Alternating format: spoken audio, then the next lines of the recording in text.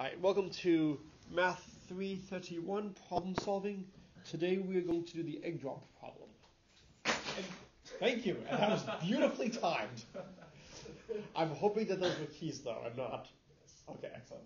If you were carrying eggs with you, I was going to be exceptionally amazed. All right. How many of you have ever heard of the egg drop problem? You okay? Can you describe the egg drop problem?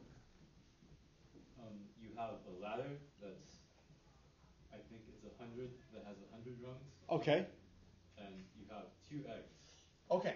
and each and Good. both the eggs are identical. Yes. So before I go any further, do you know how to solve the problem? Yes. Okay. So you are now you've just lost your voice. You'll recover soon. Okay. Good. You nodded and did not say okay. Excellent. Okay. So no one else has seen the problem. All right. So the original version, I actually heard it with a building, not with a ladder, but it's it's the same thing. So you have a building with 100 floors, 199 all the way down to one, and you have two eggs. And then these are very special eggs.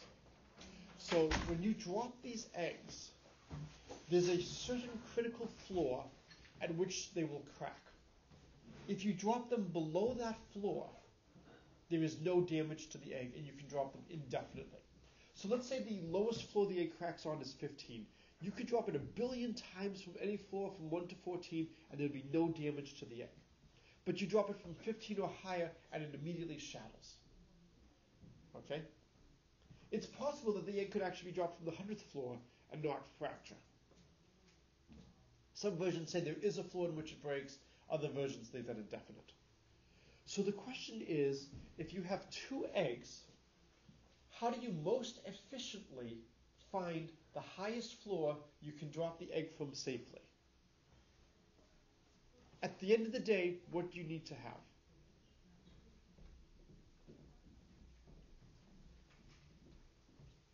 Do you need both of the eggs like that? I'm sorry? No. Just at You- least one? No. You need to know what floor you can drop eggs. So if you want, think of these as the eggs that you are going to use before your kids come. And then you want your kids to be able to drop their eggs indefinitely. So you need to know what's the highest floor your kids can go to. Your two eggs do not need to be around when you are done oh, dropping. Oh, Okay, so we don't know which. So we don't know which floor, and we don't care if the two eggs survive.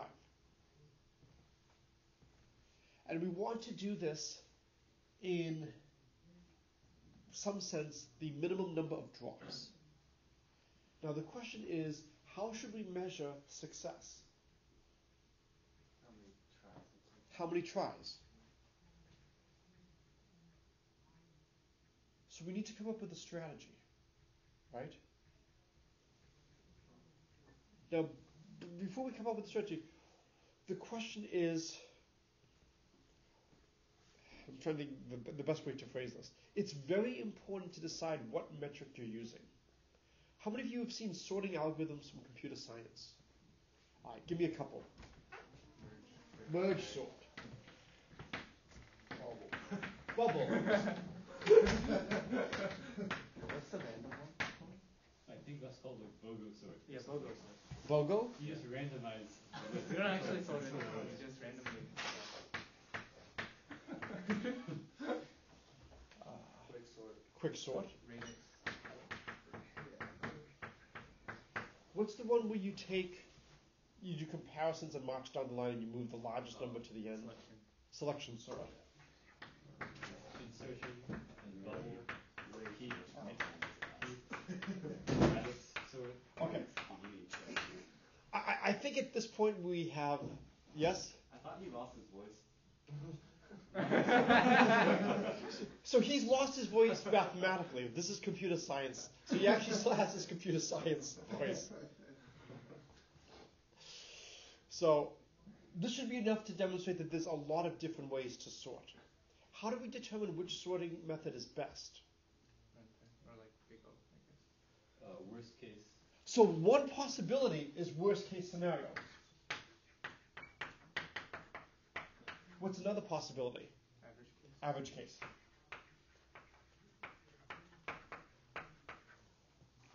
Which do you prefer?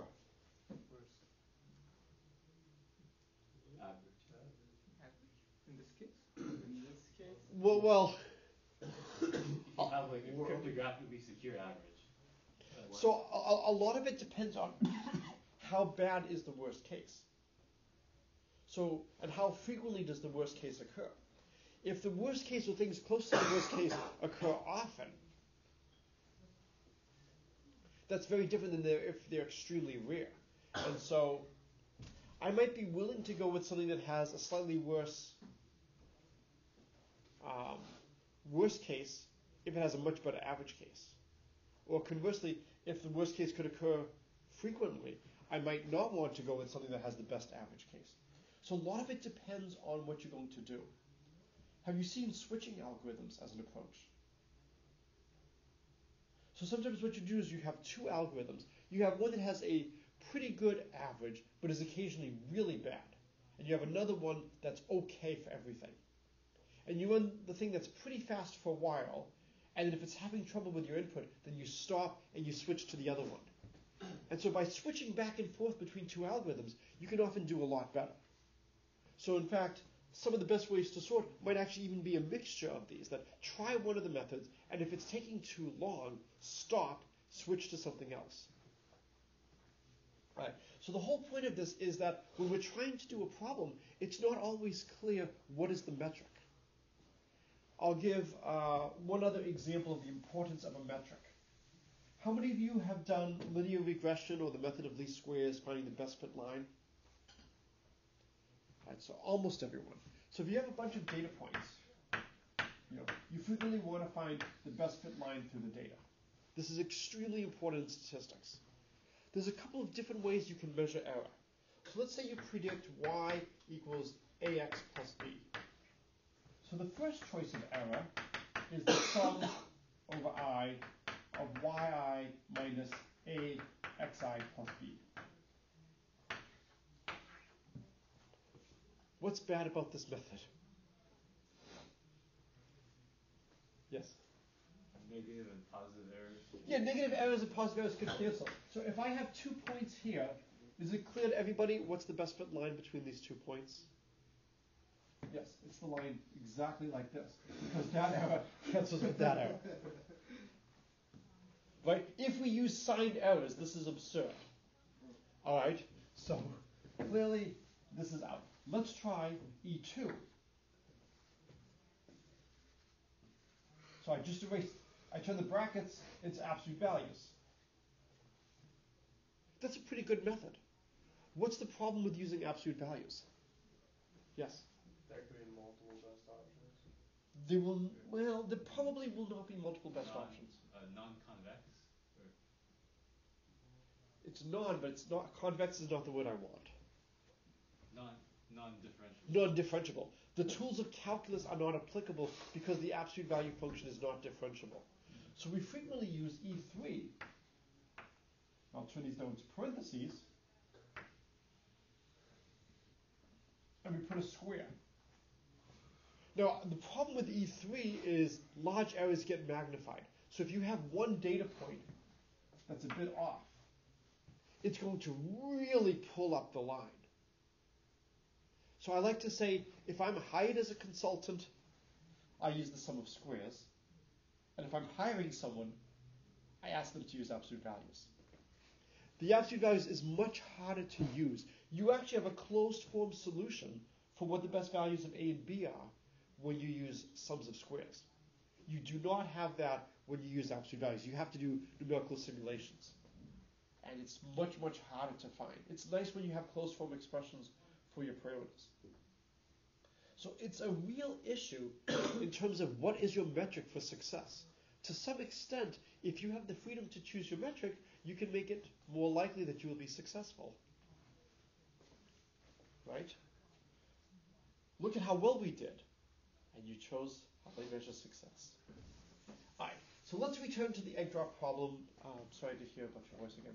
So we're dropping, we have two eggs, and these are magic eggs. There is some critical floor below which they will not crack and no damage will happen, above which they will crack immediately. And we want to find out what's the highest floor we can drop them at. Does anybody have any strategy suggestions or any ideas of what we should do first? Yes. Use the first one to go up some set of steps, like some K steps. Okay, so we, we could take the first one and go up some K steps, and if it cracks, And then if it cracks in for everything under that, you do it sequentially. If Good. it doesn't, you go up another K steps and then you okay. do the same. thing. So one approach is drop K if not crack, drop K more, if not, and then just keep repeating. And then once it cracks, you're out of luck. And you only have one egg left. Oh, you go down to the previous, oh, the one right above the previous, and then Right. So what should we really do before we do this problem? What should we? What should our first step be before we do the two egg problem? the one egg. Yeah, and we've seen this a couple of times that uh, frequently you have a problem posed to you, and you should really do the earlier case to build up intuition. Now, the one egg problem is pretty straightforward. What's the only thing you can do with the one egg problem? Just drop it every You have to drop it every floor starting at the first. If you dropped it anywhere else, if you dropped it at the floor two and it cracks, you don't know if it's floor one or floor two. So fortunately, the one egg problem is extremely straightforward. Once you're down to one egg, you have nothing to do but one step at a time. Okay, so what's nice is you've given me not only a method, but a method with a parameter. So we get to choose what k is. Excellent. Any thoughts on a good choice for k? Or any thoughts on no choice for K? It doesn't have to be a good choice. There's only one choice I will accept as truly bad and annoying. What's the one bad choice for K? One. right? So two is secure, but you probably want Okay, so what possibility is 2 plus 2? Right. Right now we're not seeing how good they are, we're just, what else could we do? We got different k values? Yeah. 3. Okay, we try k equals 3. What else? 4. 4. Alright, let's go up a little higher. 10. 10. 20.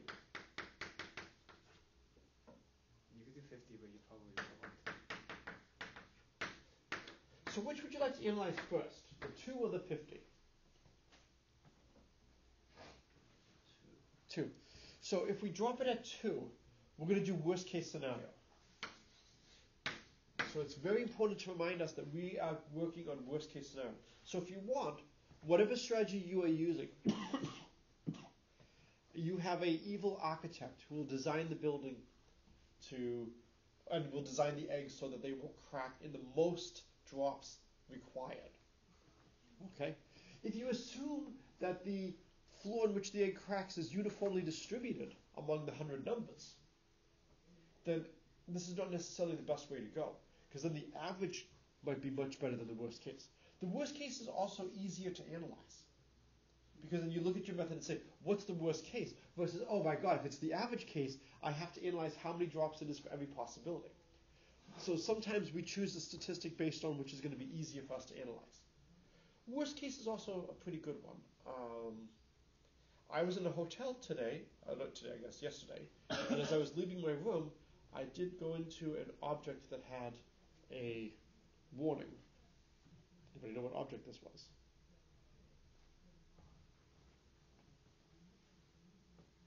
There was a certain number and we were not supposed to exceed it. Elevator. Right? When you're in elevators, they have you know, only so many people. Well, really, it doesn't matter how many people, it matters the weight. What's the danger of having too many people? the elevator goes down faster than, ex- than you want, and you die. Yes. Do you know that at least one floor is safe? We do not. Oh. So it is possible that it could break on the first floor. Hmm. Because if you knew the first floor was safe, then you would just chop off the first floor of the building and relabel. So for a lot of things, there is so much damage or danger of failing that you often be a little bit uh, conservative, and so you really care about the worst case. You don't really care about the average load in the elevator. Wait, but could it be that there's a floor, like, there's no, uh, It's possible that it, it, it is safe from every floor. oh, okay. So that if it's possible that if you drop it from 100, it doesn't crack. Absolutely. But so when you're building a lot of things, you often care about the worst case. You don't care about the average load on a bridge or an elevator. You care about the worst case load. So over here, if we dropped it at two, what's the worst case for us? Like how many drops? How many drops? Um, 50. 50. So I think you drop it at 2, 4, 8, drop it at 98, it still hasn't cracked. And then you can drop it at 100 and it cracks, and then you have to drop it at 99. Or you drop it at 99, it doesn't crack, you have to drop it at 100. So actually, how many drops is it at 2? It's 51. Alright. Let's look at 50. If you drop it at 50, if it doesn't crack, this is wonderful. Right? But if it cracks, then you have to do 49 more drops, potentially. Hmm. Okay, so it looks like in this one, that would be 50. Don't you have to do like 98 or 99? Well, let's say it cracks at 50. Yeah. Then you have to go one at a time, so that would be 49. Yeah, so you get all the way up to 50, but you. Mm, oh, because, yeah. Right. Now, if it doesn't crack at 50, then I know it's from 51 to 100. Let's drop it at 75. And if it cracks or doesn't crack there, I've now eliminated enough flows that even if I go one at a time, it'll be a shorter number of drops than this. So the worst case for us would be is if it cracks at 50. Notice how similar these two answers are. They're very comparable. And philosophically, they are the two different extremes. So how would you summarize what this is doing? How would you summarize what this is doing?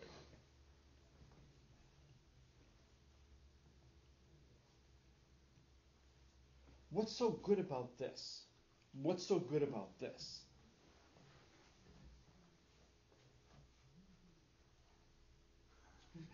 in the k equals two case, like if you sort of get to the like worst case, you don't have to do that much kind of like work to recover. Okay, no, not so if you get to the worst case. Or the Once the egg cracks, once the egg cracks, then you only have to do one more drop. yeah. So that's really good. Only one more drop when you crack. What's really good about this case potentially? you might only need two drops if the egg doesn't crack. Well, what would be two drops? Or wouldn't be fifty Well, but, but if you drop at 100 and it cracks, then you would have to go floor by floor. So you could do 50, then you could do 75, and then if you're lucky, you might get away with like logarithmic Hmm. In terms of the number of drops. It's le- yeah, it's it's less drops. It's less drops if you're lucky, but so over here, the second drop was really good. We only had to use one more drop you know, for the second egg. Over here, what's really good potentially about the first drop? It may not happen, but what might be, what might, what might we be lucky enough to get on that first drop? Might remove the bottom fifty. Yeah, we might be able to eliminate it off. You possibility to eliminate large number of floors on a drop. So again, I, I do not think any of you are ever going to be dropping eggs from buildings professionally, or probably even as amateurs. But this idea of how you analyze this problem, it's extremely valuable. We have two very competing influences. This is really good because once that first egg cracks, we have very small local work to do. But it could take us a long time to find where to zoom in on. Over here, we try to cover large amounts of area very rapidly. And if we're lucky and it doesn't crack, then we're in great shape. But if it cracks, we could be in trouble. Now, if we were looking at an average case, this might actually now start to be much better than this. Okay, so of these numbers, which do you think you might want to check now between 3, 4, 10, and 20? Which do you think might be really good? 10. Why 10? Because it kind of equalizes the first and the second drop. So, ah, okay, so equalizes. So how would you equalize 2 and 50? What's their average? The geometric mean is 10, right? We talked about arithmetic means and geometric means. The geometric mean of 2 and 50, well, they multiply to 100, so their square root is 10. That's right in the middle. So let's say we do it for 10. The worst case for us is we drop it 9 times, and then have to do 10 more drops after that. So that would only be on the order of 19. That's significantly better. Let's take a look at 3. So what would we have for worst case for 3? Drop it thirty. Yeah, then one more. So I think about 34 times. Because if we drop it 33 times, we get up to 99, and then we have to check floor 100. Right, but But what if it's ninety Thirty-five, yeah. I'm sorry? What if it's um, like uh, ninety-nine? You it's where it breaks. ninety-seven. Then you have the yeah. ninety-eight. I'm hearing far too many numbers. I think It it's can thirty-five. take thirty-five, yeah. I was saying if we do 33 drops, doesn't that get us to floor 99? Yeah, But then but if- then. if that Oh, one but if it breaks- breaks there, right, right. So- Yes. Two more. Yes, we have to do two more. So it's 35, yes. Good. Alright, so what if we do four? So it'd be 24 drops to get up to 96. And then maybe even another three more worst case. Or is it? So let's say it doesn't break at 96. Then do we just do three more drops or?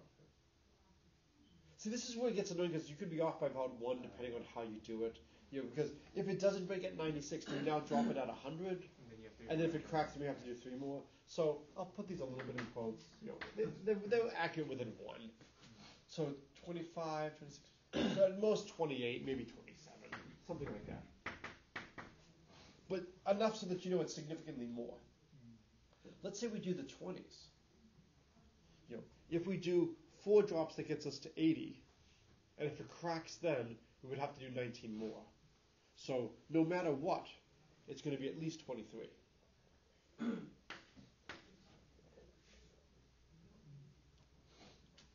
Okay.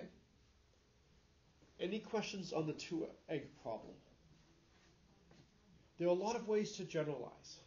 Give me two ways to generalize. There's n squared floors. Take it. So, how many floors? N squared. Not necessarily n squared, although n squared might be nice. How many floors? You, you could say n floors. N floors. Root of n. So one possibility is imagine now we have n floors. That's one generalization. What's the other generalization? N eggs. N eggs, yeah. So you could increase the number of eggs. So how far have you seen for generalizations? Uh, N floors? Okay. have you seen more have you seen more eggs? No. Okay. Is this the best solution you've seen or have you seen a better solution than this? For a hundred floors? Yeah. Uh, I think this is the best one I've seen. Okay, you've regained your voice. Oh. This is not the best solution for a 100. So we'll still do 100 for a little bit because we're not at the best. By what metric? By the worst case scenario. worst case? Yes. There is a better solution than this. It's close to the best. Oh, we would wanna make one move and then treat it as When you have equals ninety, right? Yeah. when you have the second egg, Mhm. uh, you can. I was gonna say go up by two. but I'm not. I don't think that works. So you were close when you said if it doesn't break, now we have two eggs and 90. So where would you drop with two eggs and 90? Square root of ninety. Root, root ten. three root ten, Well, this, well, the square root of 90 is less than 10. so maybe nine. Nine and ten. Well, but then that means it could take actually a little bit longer. So unfortunately, what you did is you made the problem worse. but if you tweak your what you said by a small amount, you then have the best answer. So you said let's drop it at 10, and then let's pr- play the game with a with a 90-story building. Well, you don't want to play the game with a 90-story building. Where should you drop the first egg? Not at 10, Do you want to drop it higher than 10 or lower than 10? Higher. Higher. So the whole point is the larger number you have, as soon as it fails, then you are stuck going floor by floor by floor by floor. Thus, you don't want your number to be too big because once it cracks, you are stuck going floor by floor by floor. So this forces you towards the two. But on the other side, the larger your drop is, the more things you can potentially eliminate. And that pushes you towards the 50. So if we drop the first one at more than 10, if it cracks, fine, we go floor by floor by floor. But then we haven't done all these 10, 20, 30, 40, 50, 60, 70, 80, 90. So we have a huge number of drops by 10. So what we can do is we can afford to drop it a little bit further up. And then we'll have a smaller building. Alright, so let's see how much better we can do now.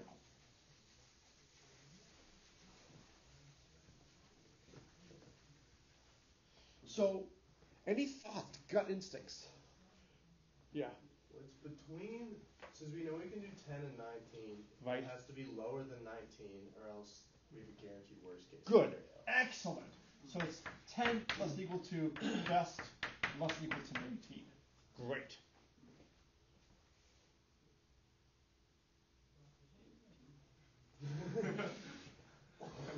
so the reason I love this problem is there are so many good concepts.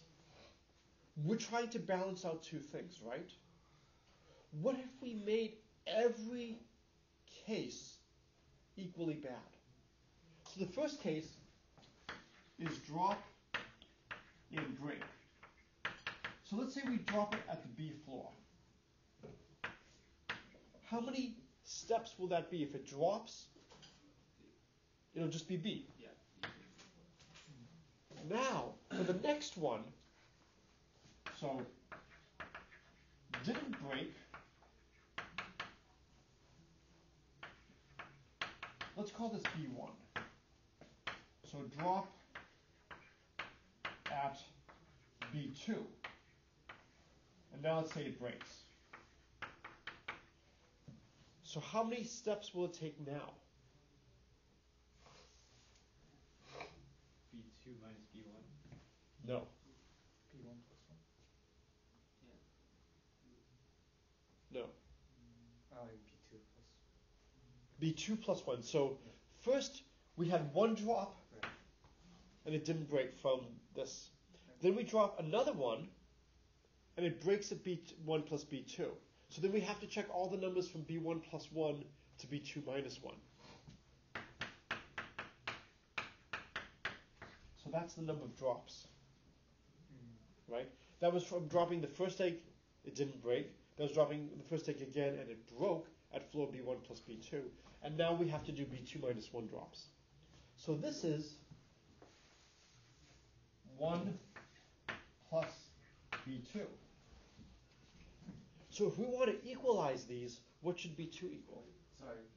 Yes. Can, can you explain why again? The, so you drop Sure. one. We drop it at B1. B1 and it's okay. Yeah. We drop it at B1 plus B2 and it breaks. Oh, we dropped it at B1 plus B2. Okay. Yeah. I thought we dropped it at Oh, sorry. B2. At, so all we got drop at B1 plus Okay. B2. Yeah, I'm, so, I'm sorry. So, the, so then that would explain your B2 minus B1. Yeah. Yes, yes. So we drop it B2 further. So what do we need for B2 to equal? B1. B1 minus So B2 is B1 minus 1 to equalize. And now for the next one, B2 is B1 minus. didn't break at B1, B1 plus B2, breaks at B1 plus B2 plus B3, and this yields B3 is B1 Minus 2. minus 2. I really hope the pattern is clear. Right? So what would the next one be? B1 minus 3. B1 minus 2. So now we just keep going, and every drop if it doesn't break, is one less than the previous. So let's try to figure out what that would be. So we want b1 plus b1 minus 1 plus b1 minus 2 plus 1 to equal our number n. Right? If we have n floors. What does this sum equal?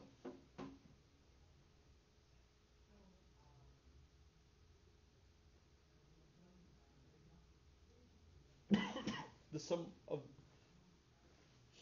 Uh, B one one plus one plus times times B one one over over two. two. so it actually tells us the best floors are going to be the triangular floors.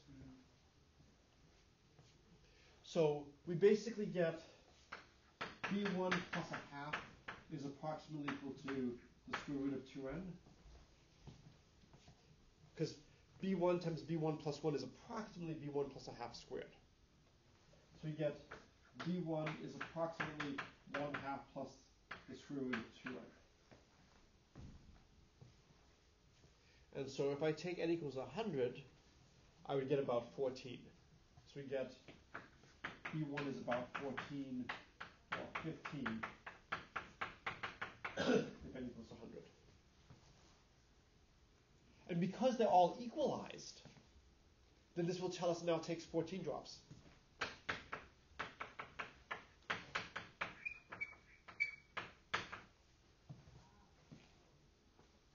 Yes. Sorry, minor question. Is there a reason why the it's a plus one half and not a minus one?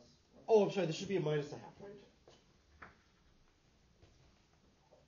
Yeah. So the square root of 2 is about 1.414. So when I multiply by um, 10, I would get 14.1. So this would probably be like 13 or 14. Yeah.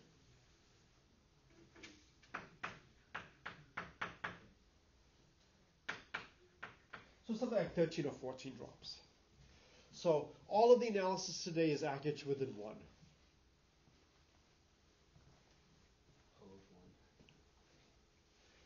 Uh, O of 1 means an Oh, arbitrary constant. right. Right. So this is actually better than O of 1. This is 1. Uh, I will risk another pop culture reference Indiana Jones and the Raiders of the Lost Ark. Have people please seen this? Why did the Germans mess up? Why did they dig in the wrong spot? Blast from the past. They like read the map wrong or something, right? The medallion was burned onto the German's hand, but they only had the front. And they didn't know that the back said, but subtract one for the Hebrew God who is one. And so they had their staff was off by one unit. And so they were pointed to the wrong spot on the map. So off by one, but you know, made all the difference in the Third Reich. Alright? Over here, all of my analysis will be accurate to within one. So when you have something like this, you should probably check both 13 and 14 and see which is best. But it tells you that the floors that are going to work the best are going to be the triangular numbers. So what would be a good triangle number to use around 100? What's the closest triangle number? So it's 1, 3, 6, 10, 15, 21, 36. Yes? And the next is 57. Wait a minute, no, this is. No, I, I, I'm sorry. Uh, I, I, I, I switched into like Fibonacci pattern. It still works. Alright, so over here I need to add 7. Yeah. Let me get 36 28. Oh, 36 does end up. Yeah. Oh. So now I add 8. I do get 36. Interesting. Alright, 45, 55, 66, alright, so then 55, then 66. Oh, that's kind of cool. Alright, and then I add uh, 12, so it would be 78. I add 13, so it would be 70, 80, 91. And then add 14 it would be 105. I thought you were just skipping 28 and No, you did the first thing. I, I somehow moved into Fibonacci mode. So 105 is pretty close to 100. So my gut feeling is probably the best we can do is probably 14. I think 14 will be better than 13. Because 105 is, I think, much closer than 91. But it would be interesting if you had like 92, 93 floors, probably 13 would be better.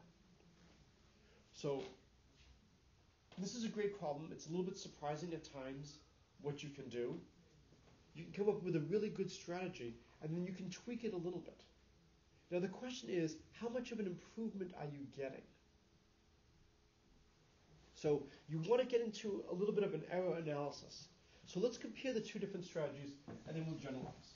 So in the initial strategy,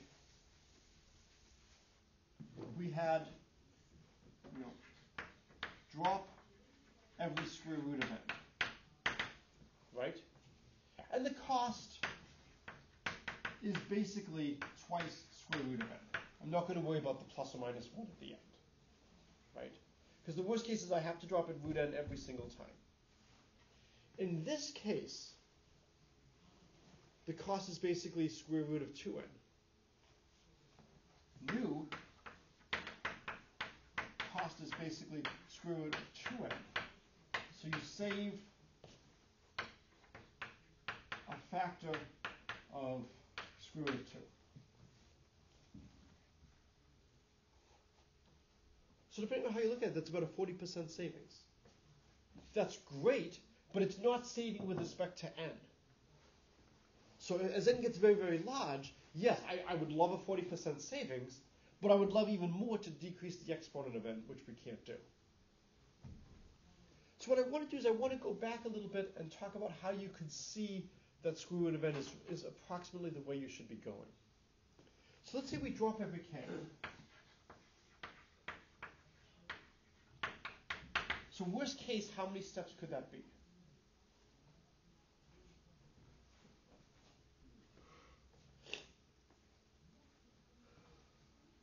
And this is the part I'm looking forward to doing with college students as opposed to high school kids. 100 over k plus. Right, but more generally not 100 over k. Oh, n over k N over k. plus k. Yeah. I think we might subtract one. No, no, you don't. You're not, we're not worrying about adding or subtracting. We're not worrying about that at all. How would you minimize this? Endpoints and derivatives zero. Yeah, endpoints, take the derivative. Now, it's clear the endpoints are not going to be the minima. And if you take the derivative with respect to k, you're going to get uh, negative n over k squared plus 1 equals 0, therefore k equals the square root of n. Another thing you could do, it's not as good, but another thing you could do is set n over k equal to k, and that also yields k equals the square root of n. And what I'm basically saying is, I want the two steps to take the same amount of time. It turns out for this particular version, that's fine. In general, is that what you would want to do? No. I want to minimize the sum. I don't want to have each one of them equally bad. This is, uh, I think the best way to describe it is how some people do not understand Amazon. If you have a product that you want that's one cent and then say two dollars for shipping, a lot of people get upset that they have to spend, you know, such a huge percent more than the product is worth on shipping. How much does the item cost?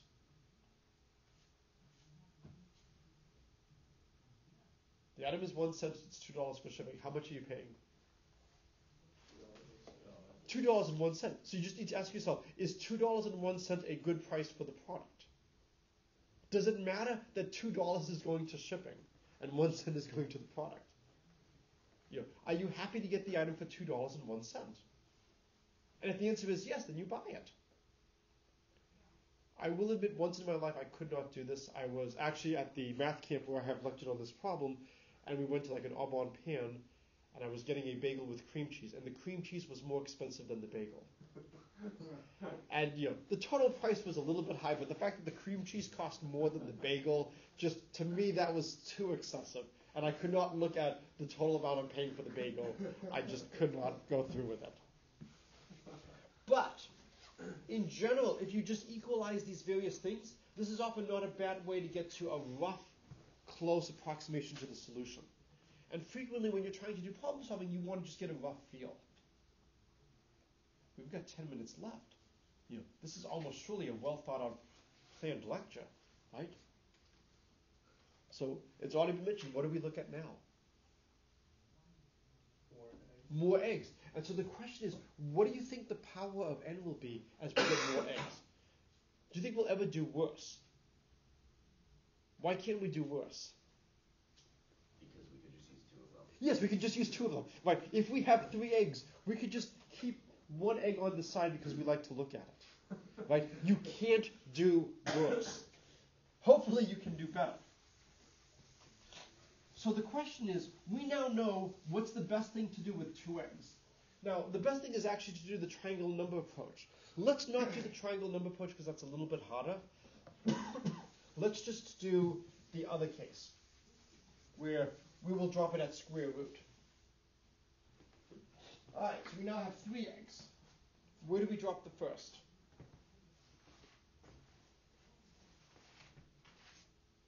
Which is it by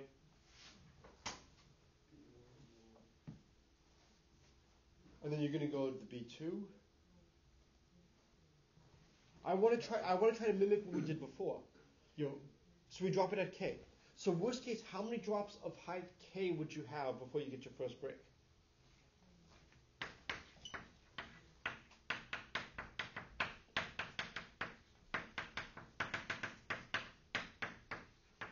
So worst case scenario, how many drops might you have?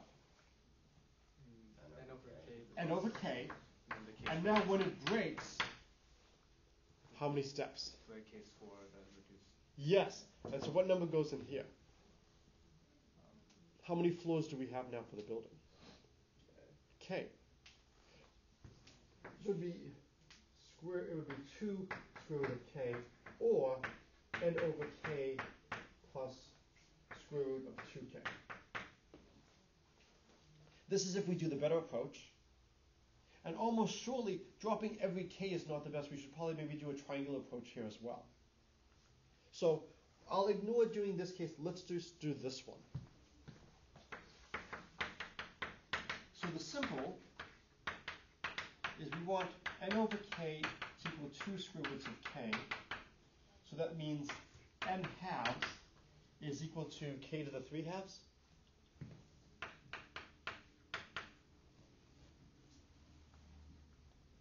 So k is equal to n halves to the 2 thirds.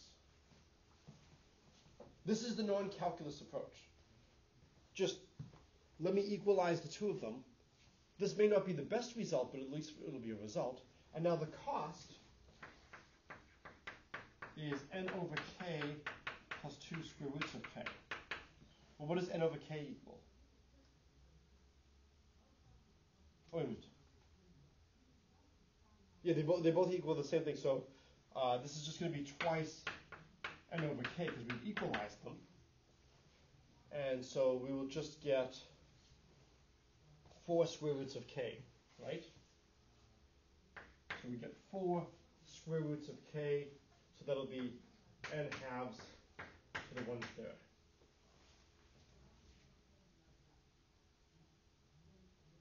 Okay? So I'll say, so the first one gives us 4 over the cube root of 2 times n to the 1 third. The important thing is to see how the power of n decreases. What would you conjecture now for 4x? Yeah, probably fourth root. And keep going like that. Alright, but this is a college class. This is not high school kids or elementary school kids. You know calculus. So I can erase all this, and let's see how much better we do with calculus. Alright, again, the endpoints will not matter, but f prime is going to be negative n over k squared. And now it'll be a little bit more interesting here, right? Now when we take the 2 and the 1 half will cancel, so it'll be plus k to the minus a half equals 0. So we get k to the 3 halves equals n. which is a little bit different than what we had before. And so now we get as the cost, it'll be 2, it'll be uh, 2 times each of these terms, so 2 times the square root of k, so it'll be 4 times the square root of k, uh, so this is the same as k is n to the 2 thirds, so it'll be 4 n to the 1 third. This is not looking good.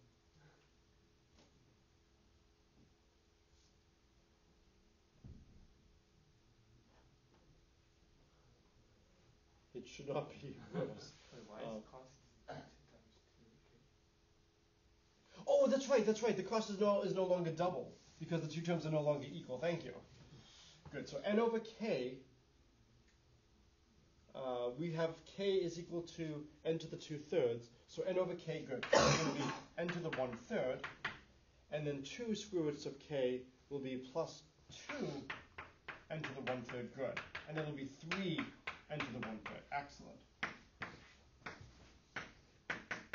And 3 is less than 4 divided by the cube root of 2.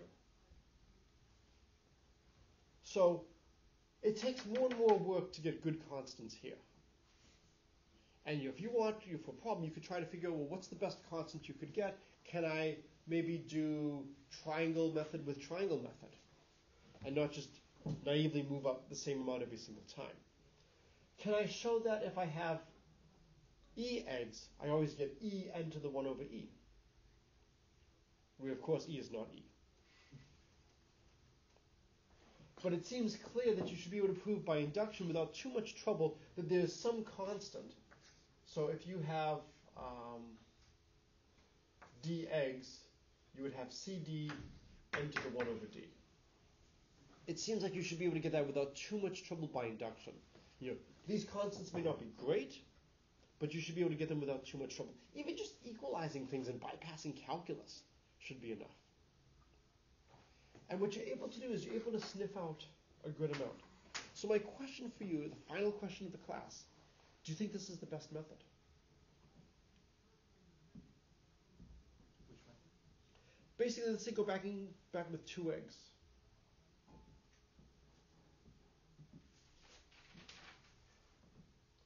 For two eggs, it might be the best method. You know, for three and higher, you, we need to do some work to prove that you can't come up with a completely different strategy. You know, when you have more and more eggs at your disposal, maybe you can afford to take some risks. But remember, it's always the worst case scenario, not the but problems like this often have levels of solution. One of the things people don't understand when they try to apply math outside of the college classroom, you don't have to get the best answer. You just have to do better than the other people around you. And that is a much lower bar. Right? There's frequently a lot of opportunity, even with the amount of math you've already had, to make valuable contributions as consultants, as summer interns, because what people are doing is so far from optimal that even if you don't reach optimal, you're going to be much better than they already are. The closer you get to optimal, the harder it is to go that last little extra bit. right, so this is a good place to stop.